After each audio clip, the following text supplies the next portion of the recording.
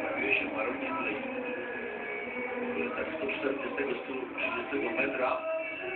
Nie ma tego cennego wiatru niekorzystnego dla zawodników.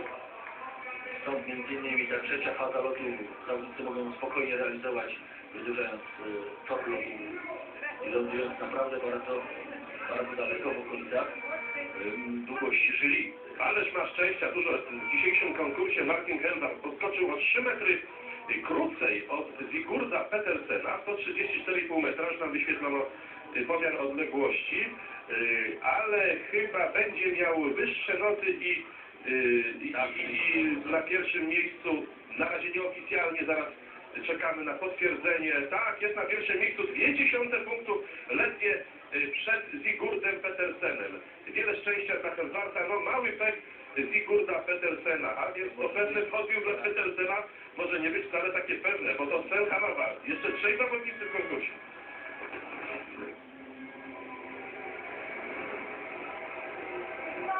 Pięknie daleko też. No, mamy serię fantastycznych skoków dzisiaj w Engelbergu w końcowej fazie tego konkursu. Ten Hanawald mówił nam na Polonu Steiner, bo przypomnę, Polacy przez kilka dni ubiegłego, tego mijającego tygodnia, obecnego tygodnia trenowali w Neustadt razem z Niemcami, że Hanawald tam skakał, skakał znakomicie.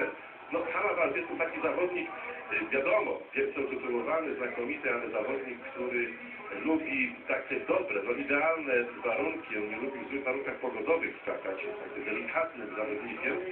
Tutaj, jeśli ten wiatr się uspokoił, to był plus, to był dla Hanawalda pomyślna wiadomość, no i Wolfgang Steyer też jest zadowolony, bo Hanawald mógł się cieszyć, mógł się cieszyć Hanawald, chociaż być może nie będzie go na podium dzisiaj, bo jest w tej chwili na trzecim miejscu, a mamy jeszcze wicelidera i lidera po pierwszej serii. Joker Stoja teraz i Jakonana za chwilę. Też będzie daleko, bardzo daleko. Ale tutaj nie spieszmy się z sterowaniem tych odległości może, bo tam już kończą się te linie i trudno jest ustanowić komentator. Tak, na pewno ponad 130 Około 135 metrów, metrów. tak. Zdecydowanie powyżej 130, powyżej tej odległości Chili. Zdecydowanie tam dalej lądował niż 134 metry, Tak, gdzie jest bardzo, bardzo czysty ten skok, można powiedzieć bezbłędny. Tutaj żadnych błędów nie można dostrzec. Będą wysokie loty. W samym locie zawodnika, tak zobaczymy jakie teraz będą oceny. Bardzo ładne lądowanie, niewielkie, niewielkie, tylko za szerokie. O, to jest ten odjazd, ale już jest powiedzmy po tych 15 metrach, zobaczymy jakie oceny. Wszystkie, trzy, wszystkie 5 po 19 punktów. Uj, skoki, No i pierwsze miejsce. Fantastyczne, fantastyczne oceny, fantastyczna odległość. Pierwsze miejsce 7 punktów przewagi nad Helbartem i Petersenem. Czwarty już jest Hanawald, poza bowiem Hanawald. No i Jane Achonen, proszę Państwa, lider po pierwszej serii. Wielka szansa dla Achonena na objęcie klasy rzutownictwa w Pucharze Świata dzisiaj. Wykorzystał chyba tę szansę.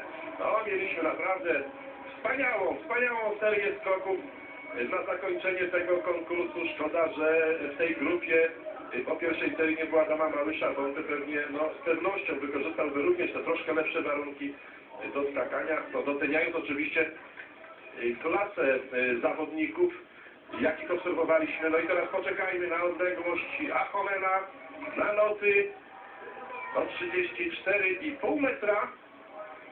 Czy wystarczy do utrzymania prowadzenia?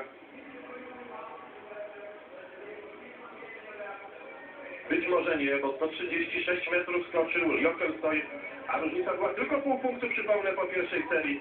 Zatem chyba Achonen będzie na miejscu drugim, a zwycięży dzisiaj Roar Joker stoi.